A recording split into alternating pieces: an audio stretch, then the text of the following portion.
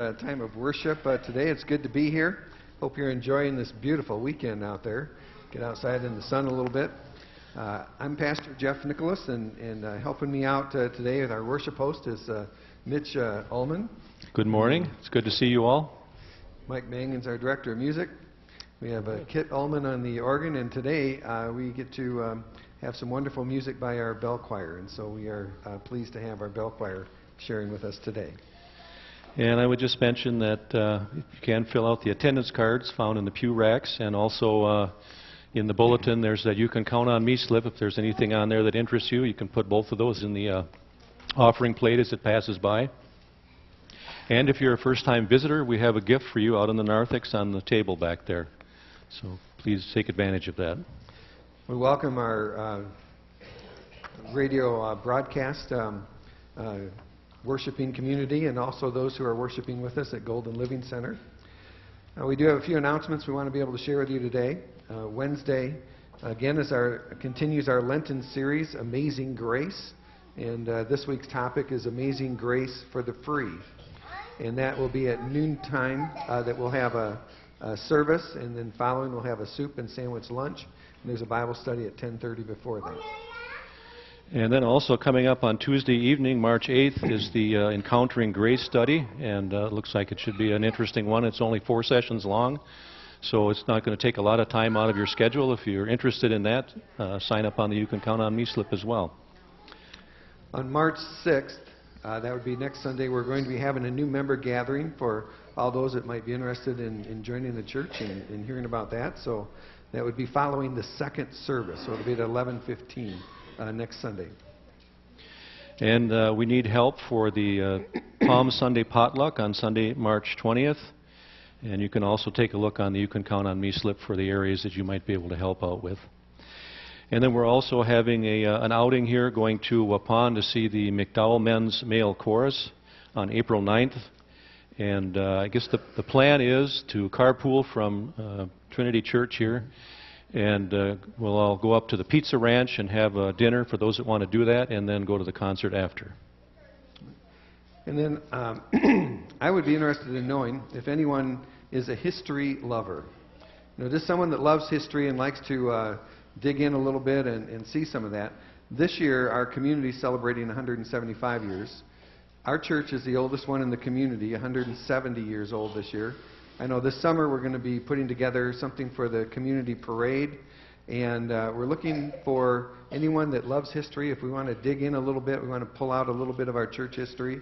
We have a wonderful closet that's filled with all kinds of um, materials for us pictures and information and books. And so, if you're a person that loves history, please talk to us a little bit and let us know. I, I don't know uh, who loves history, so you got to tell me that. I, I could talk to Mitch, and he may say, I like science, but no, history wasn't my thing. And Mike may say, oh, I love history, but, you know, uh, something else wasn't mine. So, you know, is, if your interest is in that area, please let us know, because uh, we do have some exciting things planned for that.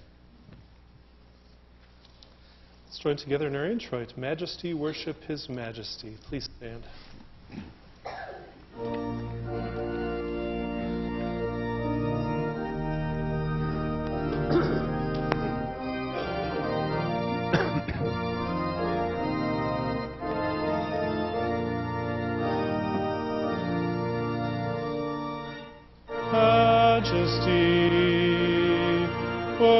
His majesty. Unto Jesus be all glory, honor, and praise. Majesty, kingdom, authority, all from His throne unto His own, His anthem raise.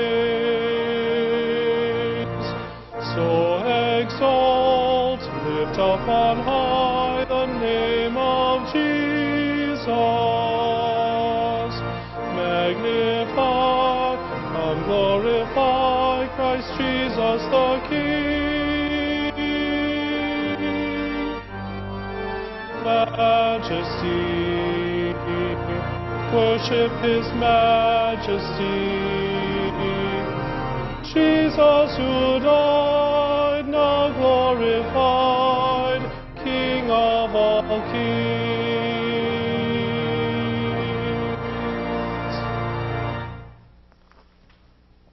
Let us join together in our uh, uh, prayer, our opening prayer. In trust and confidence, we call on your name, Almighty God, eager to know you more fully and serve you more faithfully. We have heard your amazing promises given to our ancestors in the faith. We seek your word for us in our day.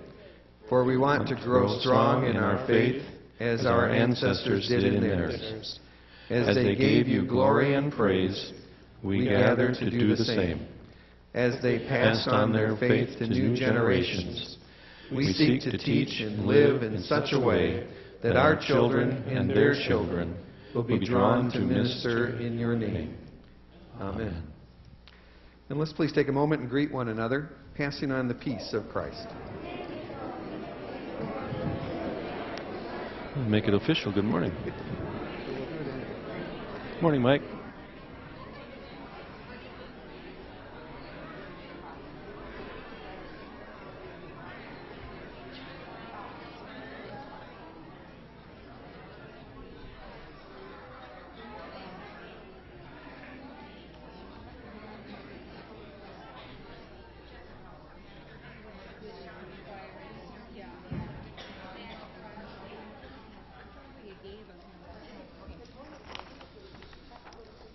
Seated, let's stand for our opening song.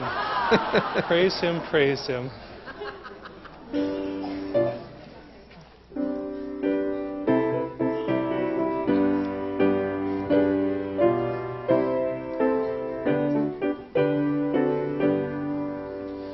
Praise Him, praise Him, Jesus our blessed Redeemer.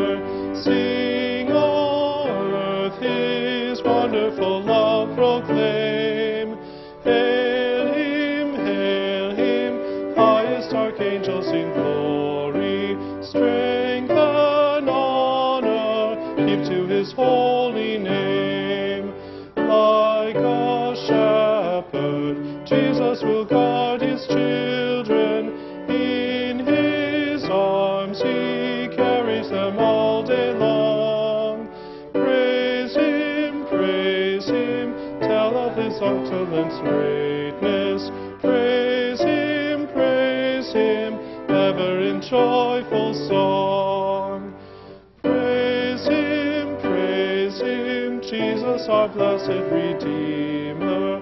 For our sins he suffered and bled and died. He our rock, our hope of eternal salvation. Hail him, hail him, Jesus the crucified.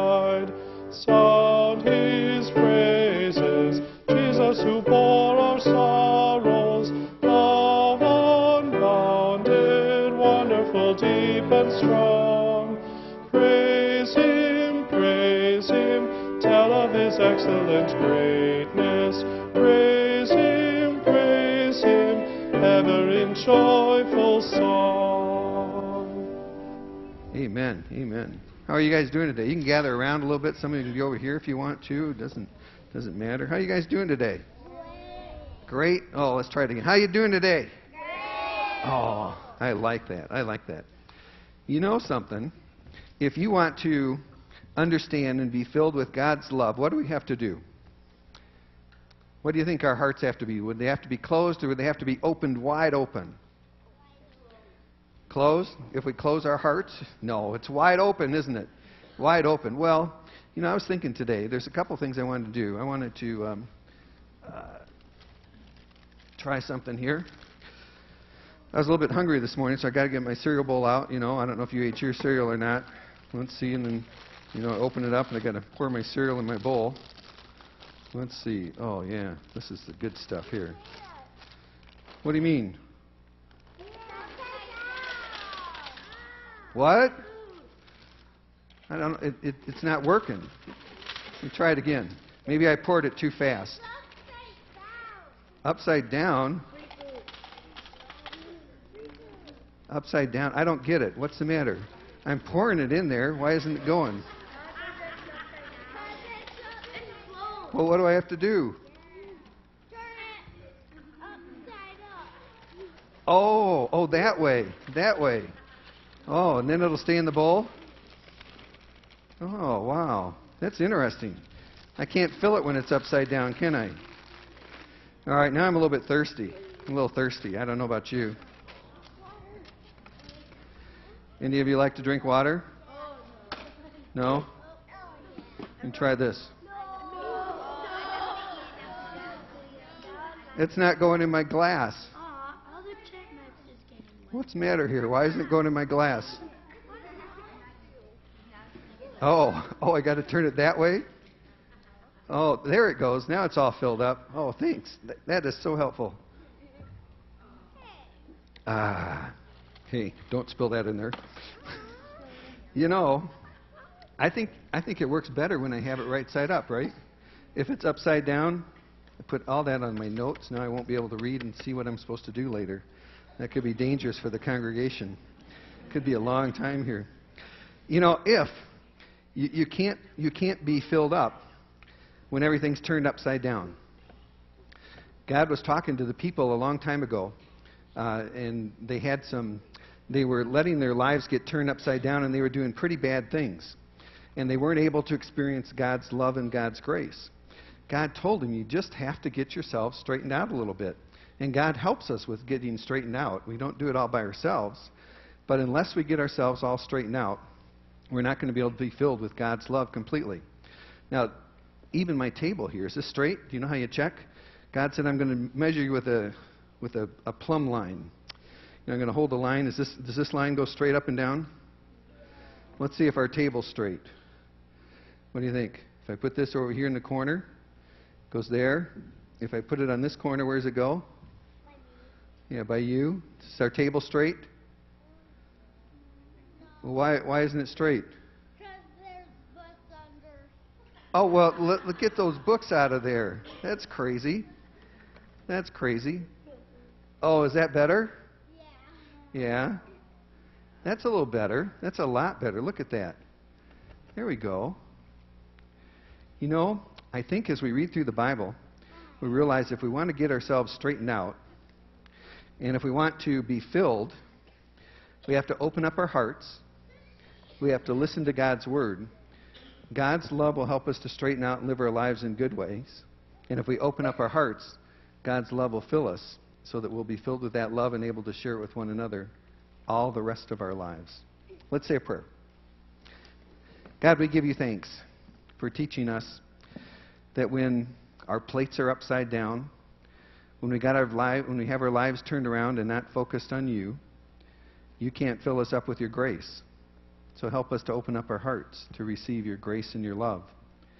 Help us to live in ways that we are straightened out and that we're all leveled, that we're not going in strange directions, we're not going in the way that you don't want us to go, but we're following you. Help us to do that, O oh God. We'd ask in Jesus' name. And all God's children said, Amen. All right, thank you guys. Let's join together in verse 3.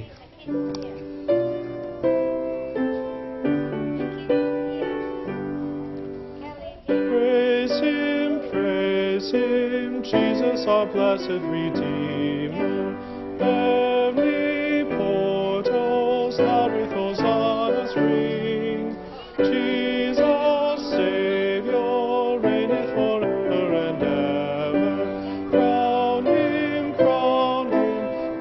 And priest and king.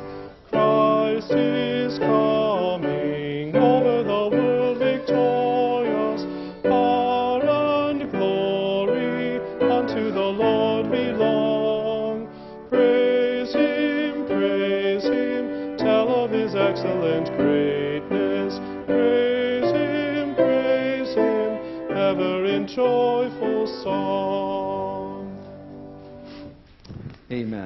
Amen. We come to the time in our service where we um, uh, share with one another some joys and blessings and some concerns that we'd like to have remembered and lifted up uh, through the coming week. Uh, The altar flowers on, on the altar behind us here are given by Kim Llewell and family in memory of Kim's sister Colleen Tenpass. And we also have flowers given by Barb uh, Berkovich's family in honor of uh, her birthday uh, this week.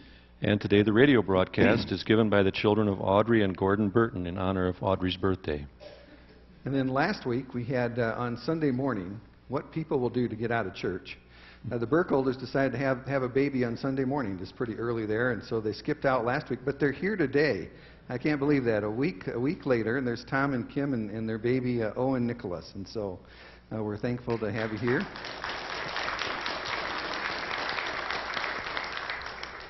Things went well for her, by the way, so that's so that's good. Every, everyone's healthy, and so we're thankful uh, for another birth in our church.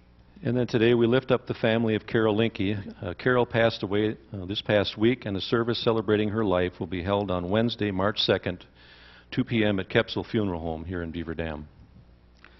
We have a couple of other prayers. Um, uh, Rob and Behan have a friend, Joel, that they wanted to have lifted up in prayers, and so we'll lift up Joel for prayers. Uh, Paul King had a, a, fall the other day and um, ended up, he, he broke a, a, bone in his hip. They did surgery yesterday. He's done doing very well. Actually, they said they're going to have him up and walking today. Sometimes it's just amazing. You can have surgery one day and you're up walking the next. But let's keep him in prayers as he goes through some time of recovery and strengthening himself again. That's amazing.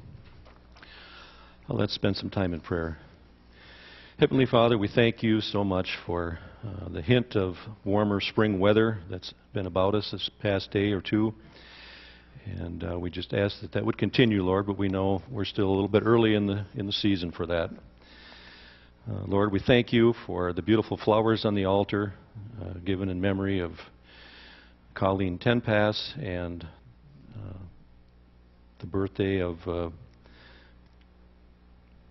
Barb Berkovich. And also we thank you for the radio broadcast given in honor of Audrey's birthday. Uh, and uh, Lord, we just ask your blessing on little Owen Nicholas, uh, newborn, has come into the world, blessed his family, and we just pray that you would bless him with uh, strength and growth and good health, and to be a joy and a blessing to his parents and siblings. And Lord, we also lift up the family of Carol Linky and as they are mourning her passing and just ask that you give them strength and comfort in this time and uh, be with them as they uh, celebrate her life and say goodbye uh, during the funeral coming up this Wednesday. And we also lift up Paul King, who took a spill uh, this past week and had surgery, and we're just so thankful that all went well, and and it's just amazing that he can be up and walking on that that leg already on that hip. We just pray for a complete and speedy recovery, and uh, ask that you be with uh, the caregivers and the doctors as he continues to uh, move along the path of healing and wellness. We just ask your blessing on this service today and give you thanks for it all. In Jesus' name, amen. And let us join together in our Lord's Prayer. Our Father, who art, in heaven, hallowed be thy name. Thy kingdom come, thy will be done, on earth as it is in heaven. Give us this day our daily bread and forgive us our trespasses, as we forgive those who trespass against us.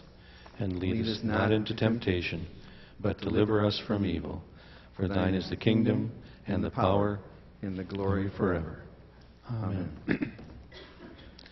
And now we have some special music by our handbell choir. His eye is on the sparrow.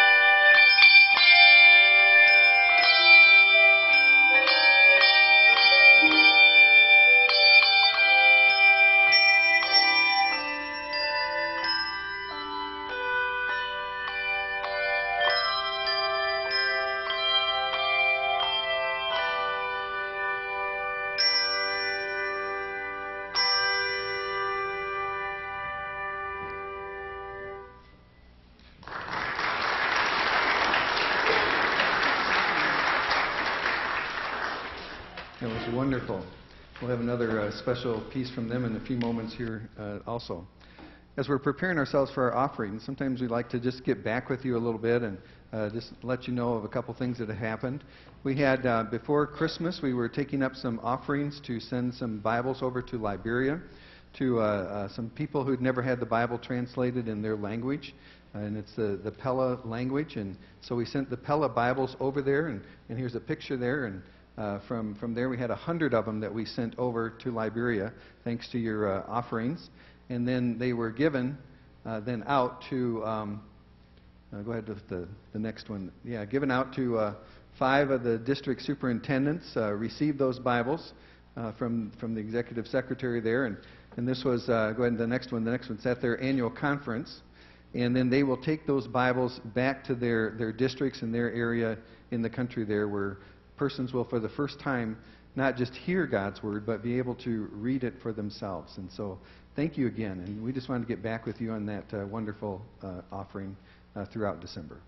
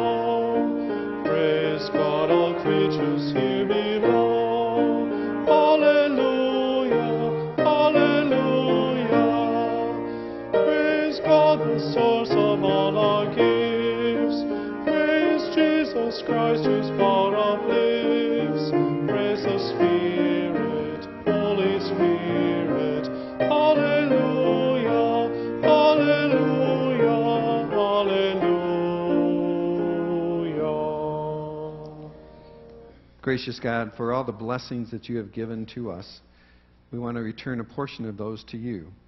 We offer you these gifts and ask that you will bless them and use them to share your love and your grace throughout our world. We offer you so much more, God. We offer you our gifts. We offer you ourselves, our hearts, our lives. Use us, O God. Use us for your purposes. Help us to walk in the straight paths. Help us to keep our hearts always open to the leading of your Spirit. With these gifts, we ask your blessings. In Christ's name, amen.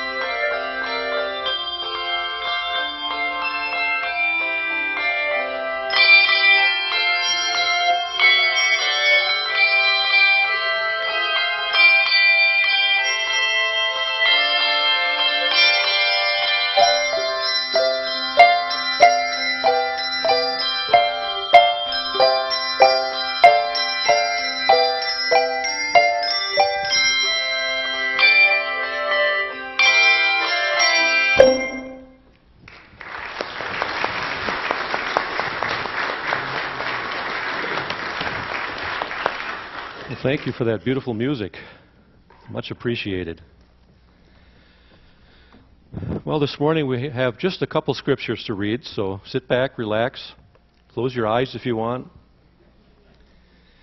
Uh, our first scripture reading comes from 2 Kings 21, uh, 11 through 16, and 2 Chronicles 33, 10 through 13. Manasseh led them astray, so that they did more evil than the nations of the Lord had destroyed before the Israelites. The Lord said through his servants the prophets, Manasseh king of Judah has committed these detestable sins. Therefore, this is what the Lord God of Israel says I am going to bring such disaster on Jerusalem and Judah that the ears of everyone who hears of it will tingle. I will stretch out over Jerusalem the measuring line used against Samaria and the plumb line used against the house of Ahab.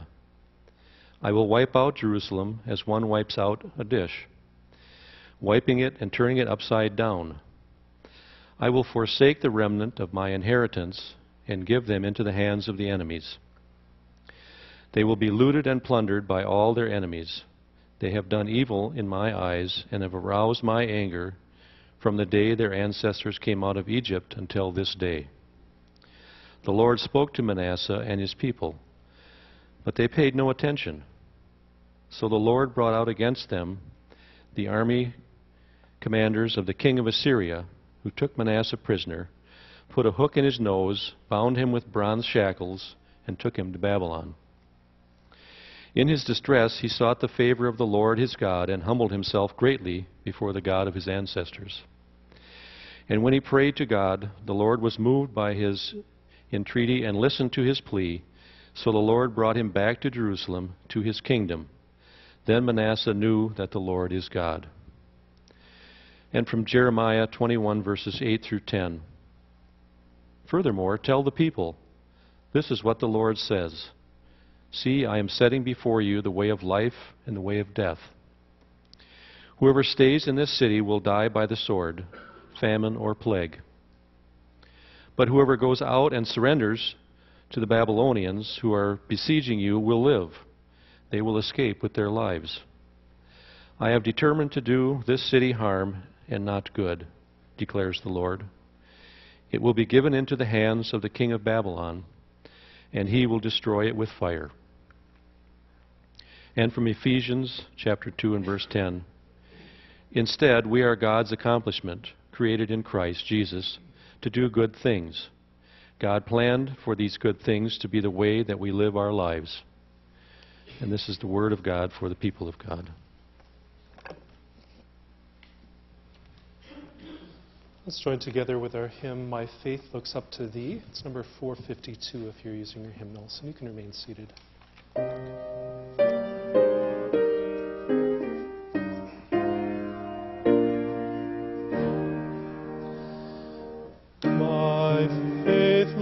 Looks up to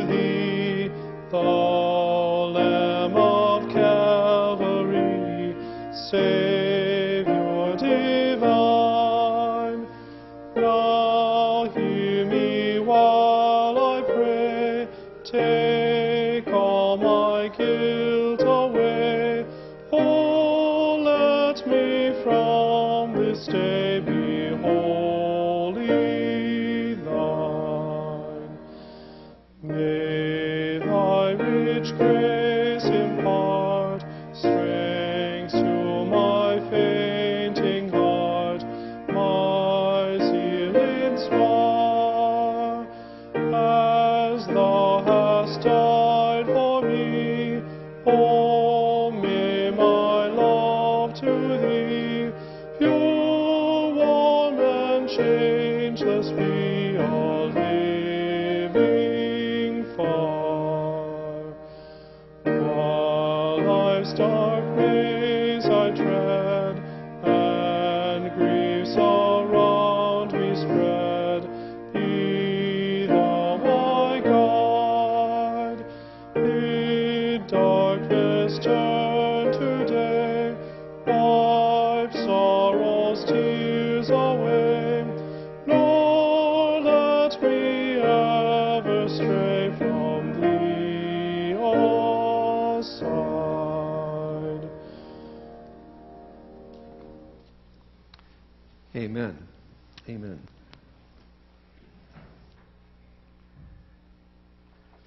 bow for a moment of prayer. Lord, may the words of my mouth and the meditations of all of our hearts be acceptable in your sight, O Lord, our rock and our Redeemer. Amen. We get into that part of the story where we're going through king after king and prophet after prophet. And, and today, I don't want you to be worried about remembering all the names. But the story, the story that goes along with them, is important. And if you're a good history buff and you like following the names and, and the places where everyone is and, and all that's happening, that's wonderful. Sometimes people that don't like the history as much get a little bit lost and say, oh, you know, tune it out a little bit. But don't tune it out. You just don't have to worry about all the names if you're not a history buff, but do catch on to that story. Because from the very beginning, God has tried to place us as, as God's creation that God called very good. Remember that? Of all the things that God created, when God created uh, humans, God said, This is very good. Not just good. The rest of creation's good, but we're very good. And God placed them in this special garden. And even there, when everything was wonderful, we had to have our own ways. And ended up not in that wonderful garden again. And so God still wants us back. And so the story as we've been going through is how God's trying to get us back into God's graces so we can experience all the wonderful things that God has in store for us. There was a, a start over time. Things got went really bad, and, and then we have the stories of Noah, and, and, uh, and God kind of did a start over again. Well, started again. Noah was good. Well, then they had their struggles and things went bad again. Well, we're back at one of those times again where things just went sour. We'd had, last week, we talked about Hezekiah, who was this, this wonderful king, and he followed God and he cleared out all the idols out of the temple and, and made sure that uh, everyone was following in God's ways. After Hezekiah died, his son, Manasseh, he came in and he was the king. This was the beginning of some of the major fall for the last um, part of the people of Israel. They had divided into two kingdoms. You had the north kingdom and the south kingdom. Last week we talked about how the northern kingdom fell. Today is the southern kingdom that fell. Manasseh was not one of those good kings. And he disobeyed in such ways that there was going to be no remedy. The kingdom of Judah, the southern kingdom, was going to fall. As you read about that and you hear about Manasseh, he said it was, he was evil. He was more evil than any of the predecessors, and he was more evil than the pagans who ruled the country that, that he was the king over. Manasseh didn't seem to listen too much. I, I like it when they described it. The Bible is sometimes just so graphically uh, good on there. He did so bad that if you hear of all the bad things that he did, even your ears will tingle. Isn't that a great illustration? It's so bad your ears are just going to be tingling. And as you read through the story, you can understand why. He sacrificed his own son on the altar of the pagan idols. It's said later on that he uh, killed the prophet Isaiah by stretching him out as an old man and sawing him in two. Not very good things if you take a look at uh, what types of things he did. Talked about the plumb line. He's measured this way.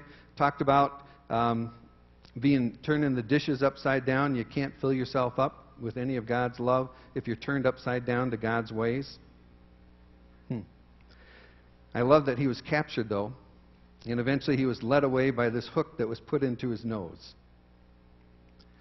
What's interesting, though, is, is as bad as Manasseh was, and those are some pretty awful things, once he was taken away, he repented and he begged for God's mercy after all those terrible things.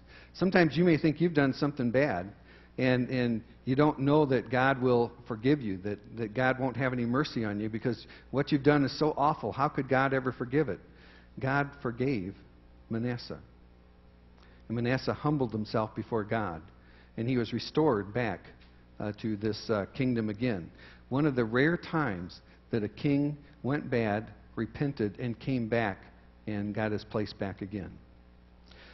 Well, he passed away, and his son wasn't quite so good. He had a son that was, uh, that was bad and evil again, and, and he did not humble himself before God. And eventually that son was assassinated, and, and uh, after he died, then his son became the next king. And that was Josiah. He was eight years old. How about an eight year old king? And he was the last. He was the last of, of Judah's good kings. And as uh, Josiah was there, he was the one that um, was looking and found found the book of the law of Moses. And so one more time, tried to get the nation, the people of Israel, to turn around and follow God's ways. He was a good king. The people, however, they did not repent. And so there was no remedy, there's no turning back. God had made the decision. Again, Jerusalem would be destroyed and the people would all be put into exile. Now, there were two prophets that came along during that time, and there was Ezekiel and there was Jeremiah. Ezekiel was one that when the Babylonians came in and, and, took the people of Israel off, or the people of Judah off into exile, they grabbed a hold of Ezekiel and they took him along the way. So Ezekiel was off into exile, and his task was to talk to the people in exile and remind them that because of their evil ways, that, um, that Jerusalem would fall and they would suffer the consequences. And so Ezekiel was off away in exile. Jeremiah was a prophet, and he was not deported. He stayed in Jerusalem. So those who were still in Jerusalem, Jeremiah was prophesying their fall. Either way, neither prophet was very popular. They didn't like either one of them. They didn't say good news. They just had Hezekiah. They could remember where Hezekiah was told by the Assyrians that they were going to take him over, but Hezekiah bowed before God and said, God, please spare my people. And he was a good king and led the people to pray to God. And the Lord came in with the angel and, and wiped out the Assyrian army so that they did not overtake the land. Well, here we have another king, and they can pray the same things, but this time it's the Lord that says, No, the Babylonians are going to come in. They will take you. If you stay in the city, uh, a third of you are going to stay in here and, and, and you're going to die by some type of illness. A third of you will die by the sword. And the other third, you're going to be taken out of here and you're going to be scattered throughout the world.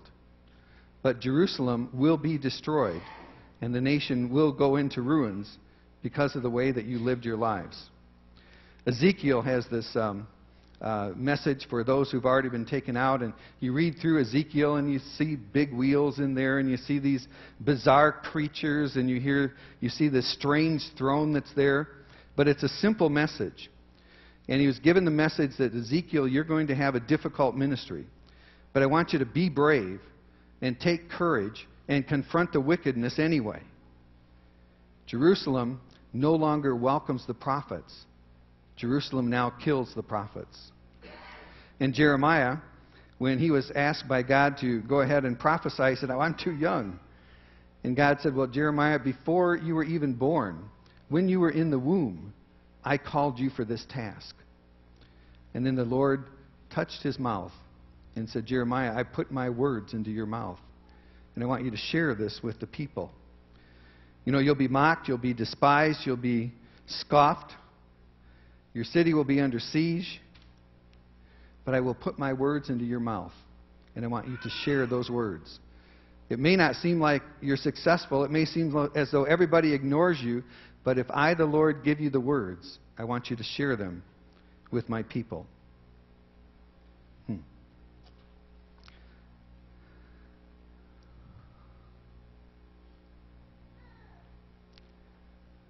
Why does all this happen? You read back and forth, God had all these wonderful things in store for us.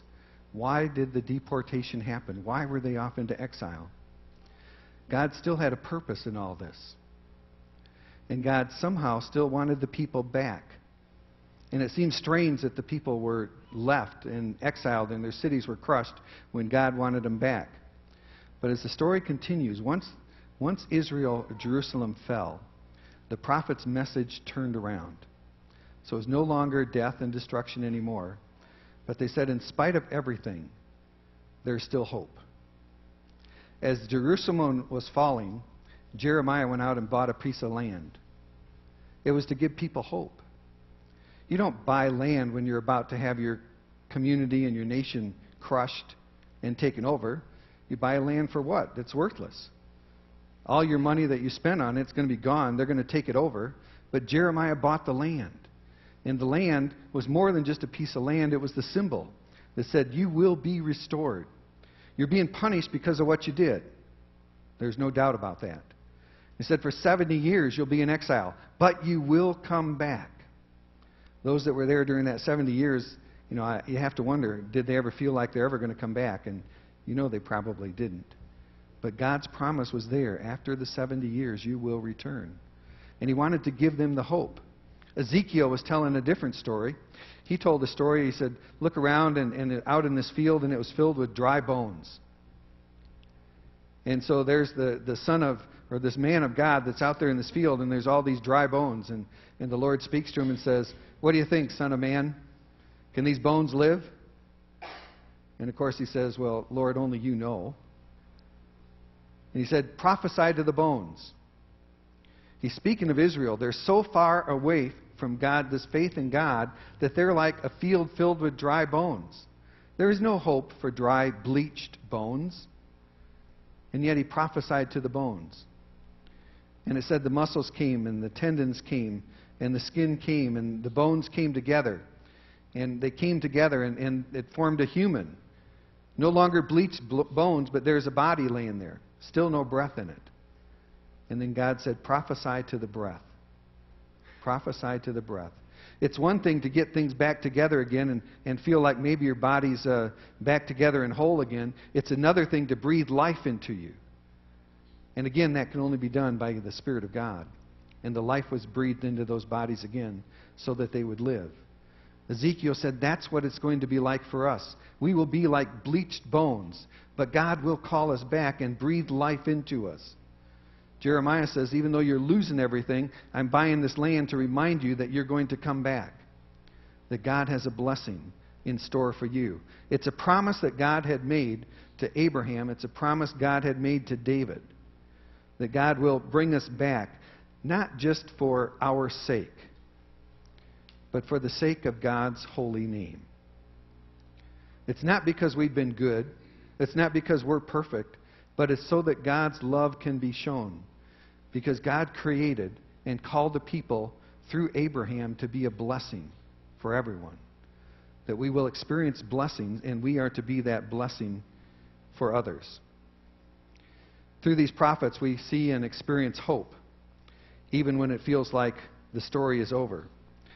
And God doesn't ask us necessarily to be successful as we might find, define success. And we may want to go out and prophesy and say, everybody repented and, and uh, were fasting and they were praying, and, and that would be successful. But God didn't worry about our success. God wanted the prophets to be faithful. And sometimes that's true for us too. Maybe we sense a call to particular ways of, uh, of uh, sharing God's grace. Maybe it's not successful. But maybe God's not worried if we're successful. But are we faithful? It's that faithful group of people that God holds on to to pass the story from generation to generation. Sometimes we wonder, you know, what's the assignment that God has for us? If you had a chance to read through our, our uh, website and, and you take a look at the note that's written in there, there's uh, something in there, quick message each week. And I love this week's, and it was talking about uh, a teacher in Texas and gives her, her students some kind of a, a test and asked them to name the four seasons. And I love that. And they said, well, the four seasons there's dove season, deer season, duck season, and turkey season. Isn't that great? We might have to switch a little bit in here. I think we'd lose the dove in Wisconsin. We'd put in fishing season. There's still fishing, deer, duck, and, and turkey. The four seasons that we have. Some of you are nodding and say, well, yeah, was there any other seasons? I mean, really. I don't know what season. And as it goes in this, this article, it says, I don't know what season you're in, but I do know this that God has something for you. God has something for us, no matter what season. You know, we might be standing in the rubble and it seems like everything's falling apart. And maybe no one's going to listen. But if we're in that season and God's calling us, we're to be faithful to God's call. God had something for Jeremiah to do, God had something for Ezekiel to do. And it really didn't positively affect the people that they talked to. 70 years later, their messages were remembered and never again forgotten. God wants us to be faithful to do the things that God calls us to do, not concerned about our abilities. Too young, too old, too this, too that. It doesn't have to do with how skilled we are, but it's our heart condition. Are we available for God's call in our lives? That's what God's concerned about. It's not about us, it's about God and about God, what God is laying on our hearts, what God is calling us to do. No matter what season we're in, God's calling us to make a difference, to make a difference now and even today. Our question is are we available for God's purpose? The call is, is clear. What are we called to do? Amen.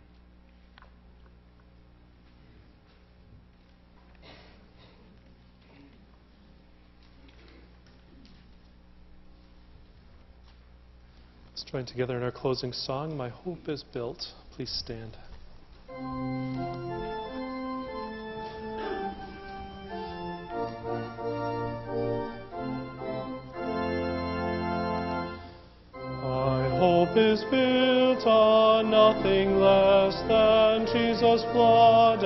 Righteousness. I dare not trust the sweetest frame, but wholly lean on Jesus' name.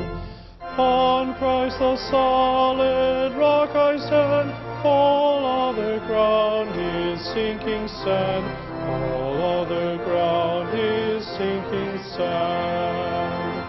When darkness veils his lovely face, I rest on his unchanging grace.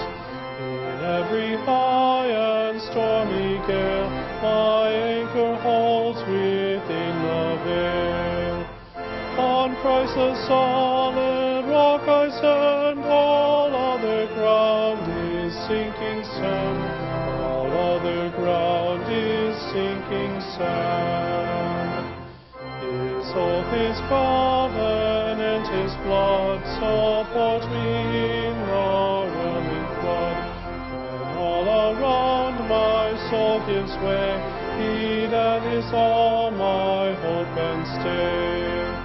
On Christ the solid rock I stand, all other ground is sinking sand, all other ground is sinking sand. Now may the Lord bless you and keep you. May the Lord make his face to shine upon you and be gracious to you. May the Lord lift up his countenance upon you and give you peace. Amen.